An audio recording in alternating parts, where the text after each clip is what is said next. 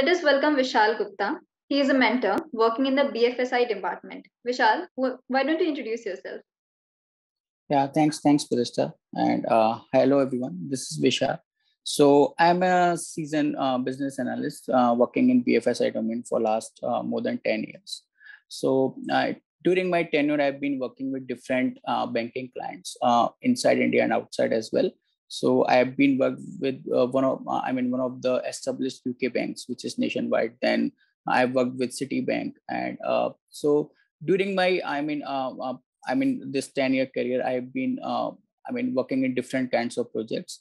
And for the last four, uh, four to six year, I've been working in a digital transformation project because, as you know, that banking is going through a change. And right now, uh, I mean, everybody's talking about fintech. Everybody's talking about how the, I mean, the uh, banking is moving towards the digitization.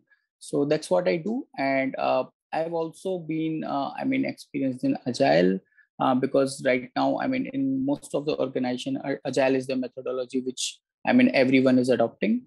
So that is what I'm a certified uh, product owner uh, from SAFe, which is one of the renowned institution uh, who recognize uh, the agile uh, practitioners.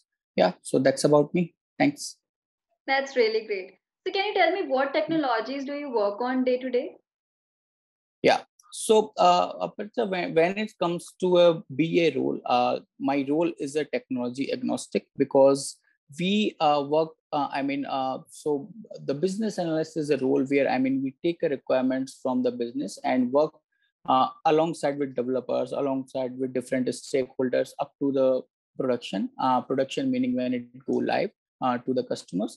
So, uh, so I started uh, working. I mean, uh, in the initial days, the technology was mainframe um, because all of the, I mean, uh, banking system were in mainframe. Still, there are few systems, few legacy systems which are in mainframe. Uh, slowly, it is moving to new technologies, and now, if you have heard that people are more talking about APIs and how this, uh, I mean, uh, op- open banking is opening the Pandora of the opportunities for the banking domain. So technologies get changes time to time, but yeah, I mean th- that's what. I think your job job is kind uh, like kind of very interesting, and people would be very intriguing to know mm-hmm. about it. So, what would you say is the interview process for your job role, and how many interview rounds are there? Yeah.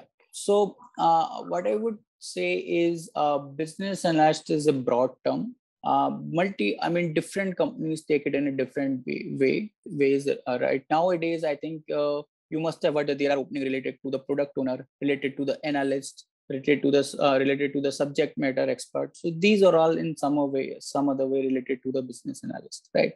So uh, whenever uh, as far as the i mean interview is concerned there are three steps basically. First round is a telephonic round where i mean I mean, we just get to know. I mean, how the, uh, I mean, uh, I mean, the person is, what is the experience is, are is he or she is, uh, I mean, experienced enough in a rele- relevant field.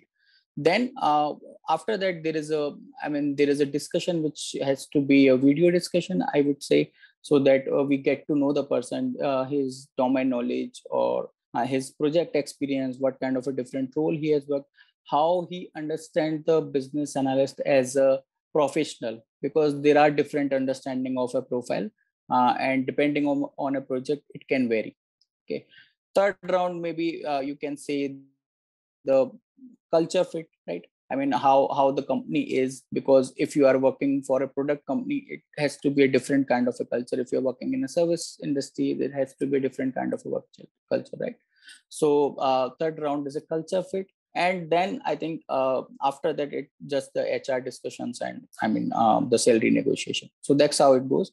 I would say the first two rounds are critical where we i mean assess the people based on the abilities and that's how i mean it goes. That's great. So how would you say that people should prepare their resume when they go for the interview? Yeah. So uh, first thing what i would suggest is uh, that your resume has to be clean. I mean because i've seen resumes where people just i mean uh, fill four five pages. So that doesn't make sense. And really i mean whenever um, i mean uh, the person who is interviewing or who is collating the resume or who is doing that work he or she is getting some 100 resume on daily basis. So nobody has time to look look into let's say five to six pages. And uh, you can uh, i would say that uh, it has to be maximum two pages okay? And uh, uh, there has to be a structure to it. So let's say introduction then your project experience then your academics and then maybe your hobbies or some personal details right? So whatever the structure is that you decide yourself but it has to be structured. And uh, one thing which i noticed that uh, uh, recently i mean few people doesn't maintain uh, not maintain the chronology. So when i say chronology that means that year wise what you are doing. So if there is a gap show it to the recruiter because anyway they'll get to know right? Uh, if there is a gap in your studies if there is a gap in your employment show it to them. Um, because there are people in our country who, maybe some for unforeseen reasons or some difficulties they took a gap. So don't don't hide anything. I think that's that's what i would say right? Right you're absolutely yeah. right so can you di- di- dive a little bit into deep into the all in the interview processes that is involved like all the four interview processes? Yeah yeah sure. So let's say uh, i mean uh, so typically how a, a business analyst review i mean uh, interview goes is let's say uh, there, there's a telephonic round. In telephonic round generally i mean uh, because uh, people ask the normal terms that how much experience do you have? And uh, if they satisfy they go to the second round. So i would say that is the critical round uh, and that is the detailed interview which uh, i mean happens. So uh, how it start is uh, i mean as a interviewer i will ask let's say what is your i mean recent projects that you have been doing? Explain it to me. So basis upon what i mean what interview I mean, the candidate picks the project, he will understand uh, uh, to give the introduction, how he understand the, I mean, the business behind the project, what he, he was doing. Because as a business business analyst, that is important that you understand the business you're bringing in by doing that project, right? So then uh, there are different stages of, um, I mean, um, uh, I mean, um, for a project, let's say how the ideation happened, how i mean uh, where where where i mean this particular person added value so those are the questions i mean uh, we ask in a particular interview then uh, once that is done uh, i mean uh, uh, as a ba there are certain techniques or there are certain methodologies which a candidate should be aware. So first part is understanding of a project how well a candidate understands the project. Second part is how well he understands understand the business analyst profile as such. What are the roles and responsibility of a ba maybe he or she is not doing all the responsibilities in a particular project but he or she should know that what is uh, what is the profile is all about. So uh, uh, what is stakeholder management? Uh, what is requirement gathering? Uh, what is i mean these related terms like business requirement documents software requirement documents uml diagrams. So these all are basic ba terms that one should be aware if he or she is trying to move into the uh, business analyst profile. Now, uh, so from the start, the project knowledge, the second is BA profile knowledge, and then third is agile knowledge. Because uh, wherever you go right now, even uh, let's say if there is a big organization or there's a product company, everybody is running their projects on the basis of agile. So one should know what is agile and what are the different ceremonies of agile. Let's say what is the stand up um, there are different ceremonies which, which happens uh, in the uh, i mean in the agile what is uh, sprint planning what is backlog planning so maybe a candidate should not be uh, i mean throughout know all the things but uh, he or she should be aware that this is what happens. So that's how we identify that okay the i mean the uh, i mean the candidate is aware about these things right? Uh, and then in the end i think uh, it's end with normal i mean uh, if a candidate particular is having any questions for us um, that's how it goes that that was very detailed and i think every candidate who is watching for this interview right now would really love it.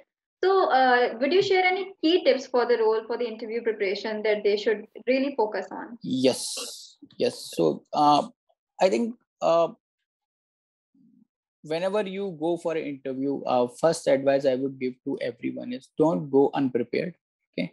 Because if you go unprepared people will know that you have not done your homework and if they know then uh, there is a there is a gap between you and uh, and the interviewer which comes.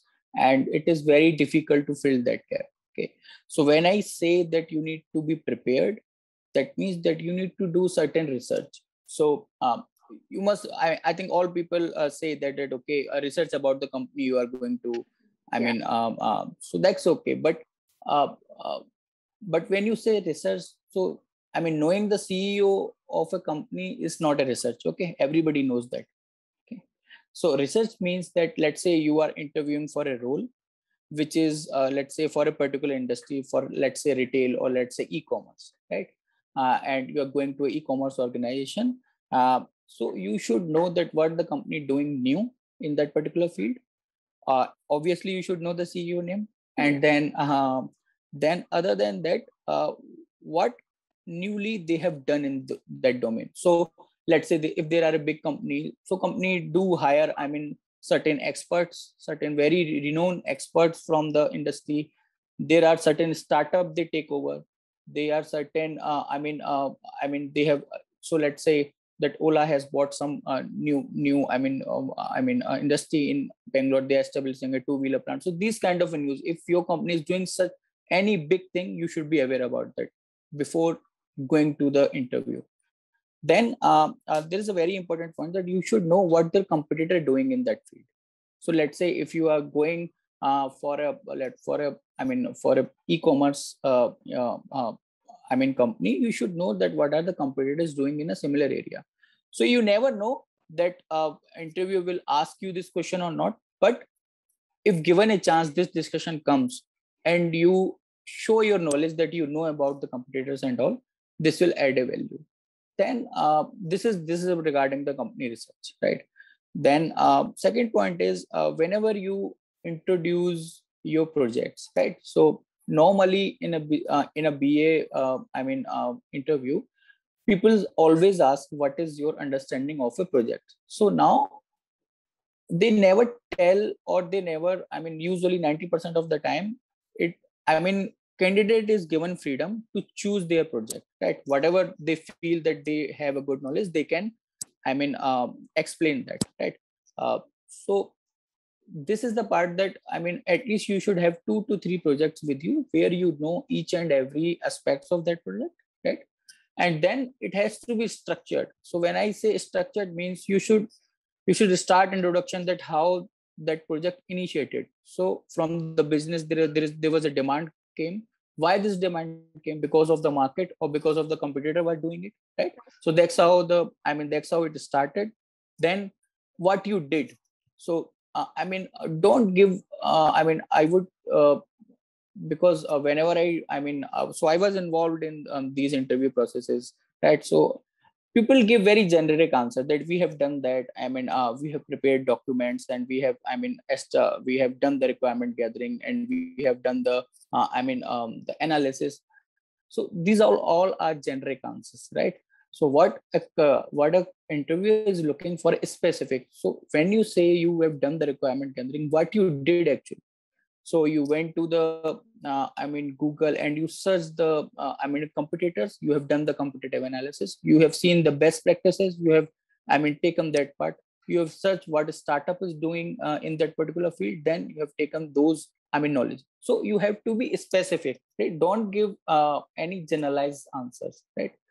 and uh, so this is how i mean um, uh, i would say uh, i mean first there has to be structure right so in the structure how it started how did you execute how did you deal with the developers where was the testing involved what are the challenges you face is there uh, what are the different stakeholders in your project then how did you implement the project and uh, after that what was the customer feedback or what was your managers or uh, bosses feedback? So that's how i mean the whole project will go one by one uh, from initiation to requirement gathering to benchmarking to execution to testing implementation production and post production support so if you give that structure to the uh, to the uh, i mean interviewer definitely you will uh, i mean create your mark right so I think these yeah. key tips were very insightful, and it's not going to help only the business analyst student, but I guess it's going to help a lot of students as well, the candidates who are preparing for other interviews too. So, is there any particular resource or course that you would suggest to the candidates? Okay, so uh, I would say, uh, I mean, there is uh, there is no, I mean, um, shortcut to success. That's what I would say. That and there is no key book uh, what i would uh, recommend is that uh, i mean uh, there are there are videos available in youtube so when when people say that okay i mean i mean uh, the visuals are more helpful. So i would recommend that go through the youtube videos. And if you have a linkedin paid subscription there are fantastic course on business analyst over over linkedin premium. You can take a help on that. And uh, uh, apart from that what what i would recommend is uh, i mean uh, i think knowledge is very i mean information is readily available right now right? You can just type in a google techniques of business analyst there are 100 website will open. Uh, how the interview goes there are 100 things will open right? I think uh, so uh, what I would uh, recommend is that maintain a personal diary. That's what I do. I can I can um, I mean suggest to others also. Maintain a diary wherever uh, you find something. Uh, because see uh, on youtube google there are so many things. We don't keep a track of it right? So maintain a diary whenever you find something good just write it over. Uh, or uh, i mean um, if it's a video so write the description that this is something which is critical whenever i go for interview i should refer it right so if there are 10 and 20 things are there and uh, you continually continuously doing that then um, i mean you will learn so just seeing one time a video, maybe you won't get much, but if you keep repeating, I think uh, the knowledge will come. Right. So that's what I would say. Right. So uh, do you think mock interviews can be helpful for the students who are preparing? So hmm. Yeah, yeah, definitely, definitely. So uh, mock interviews is a one way. Uh, uh, I mean, uh, where you you actually test yourself, right? Uh, so uh, the situation is same the other person is judging you right so you have all all these emotions right okay i'm i'm being judged i'm i'm comfortable or not or, and and i think in the mock interview people give i mean if you if you are receiving a good feedback i think that is something which is very critical when you're going for a actual interview. Apart from that i think uh, uh, if you are directly going um, let's say i just give you an example. Let's say if there are two uh, uh, i mean same set of guys with the same qualities right? Uh, one guy did five mock interviews and another guy maybe is more knowledgeable is not done uh, any mock interview. You can see the difference i can bet you the guy who who went for a mock interviews he has actually he has gone to the practice right? He has done that practice five times. So obviously he'll be better. He'll he, he already know what to tell i mean how to communicate how to structure because he already got that feedback. So definitely mock interview helps right? Right so uh, since you've mentioned that you have been a part of these interviews and you have taken interviews as well uh, so what would you say that there are some common mistakes that every candidates do? So what would you say these mistakes are and any tips on how to improve them? Yeah yeah. So uh, i mean uh, first thing I, I think i have discussed this in our any any i mean in the in, in the starting of the conversation. First is i mean people hide certain things right? I mean i think these are the gaps and all. People hide these things. So i think you should not do it because uh, anyway i mean because see uh, nowadays i mean trust is become very um, i mean critical right? So uh, anyway there are so many interviews which are happening online and virtual mode. So people tr- uh, take the trust very seriously. So if they find you are i mean you are not up to what what you have shown in your resume then i think there is a disconnect uh, so i think you should not do it. And uh, any candidate should not do it. Second thing is i, I think um, this is also i mentioned that uh, you have to be very specific. Any interview it is a technical interview or it is a interview you have to be specific. Don't give generalized answer okay? Uh, i mean uh, i think people i mean i mean candidates give very generalized answer. I have done this i was i was star in my college and i have i mean delivered i mean three four um, projects in in my college or i mean in the last project i was um, i was dealing with 10 departments and all. So i mean uh, if you say that uh, you have to be you have to give interviewer that view that how did you do it? So when i say how did you do it you need to go process i mean step by step and explain them that this is what you did and uh, maybe if if it is something confidential you can change the name right? If you are using a let's say you have built a particular system for a company you change the name of that system and explain them okay? Don't give generalized generalized answer. Another point is uh, i would uh, um, see i mean uh, as a mistakes that uh, let's say uh, sometimes uh, interviewer catches you that you have done something wrong right? So so i think this is a part of a process. You should not be uh, i mean uh, you should not be nervous. That's what i would say. It happens yeah i mean let's say if you uh, let's say you have spoken some wrong name or you've given some wrong fact and uh, somebody catches you so that's fine. You say maybe i have uh, i have heard some 15 uh, uh, there was a turnover of 1500 crores but maybe it was not 1500 maybe 1000 crores. So that's that's fine. That's fine. It happens so uh, uh, so don't don't think that okay this particular point will decide my interview result right there are there are number of points there are number of opportunities you will get where you can make it count so, in my suggestion, I think virtual interviews can be a tough can uh, it can be a tough exposure for the candidates who are preparing. So, are there any special tips for the virtual interviews? Yes. So there are, I mean, uh, particular things. So one is uh, keep two setups ready. That's what I say. So let's say if you are, I mean, interviewing for a virtual uh, interview, just keeps one phone and one laptop, two device who are connected to different networks so that if one i mean is not running maybe you can immediately switch to another that is one second is don't cheat because we will know i mean whatever the interviewer is saying so let's say uh, if it's a coding interview and you have some code handy and all so don't do that because people will know because they are interviewing 100 people in a day or let's say 10 people in a day so they'll understand. Whomsoever is doing it i mean professionally and whomsoever is not doing professionally interview will get to know that Okay. and then uh, what i would say that uh, you should be uh, clearly visible uh, in the interview and your background should be okay because i think these are little things but these add up to the i mean to the whole picture right? If you let's say if there is a sounding sound of the utensils in the in the background okay? Uh, and uh, if your phone is ringing th- these are very i mean so if if a candidate's phone is ringing to me he is not or she is not very serious about the interview right? You should have put your phone on the silent mode. It's just a button right, right. You, i mean you can you can do that right? So these are the uh, small small nuances i think uh, you should keep it very professional. That's what i would say and uh, uh, dress well um, uh, even if it's a virtual. Anyway uh, nowadays you don't get time to get well dressed right? Because everybody is working from home. Yeah. so i think that that is something that you can do. Yeah that's what yeah. Great great. So uh, before we end this up any final tips for the candidates? Yeah.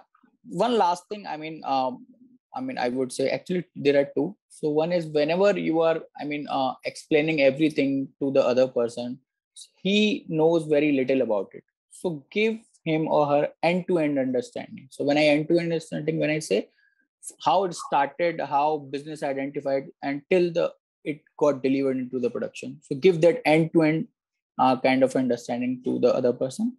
And second point is make it conversational. So don't uh, don't I mean uh, it is not a viva or it is not a college.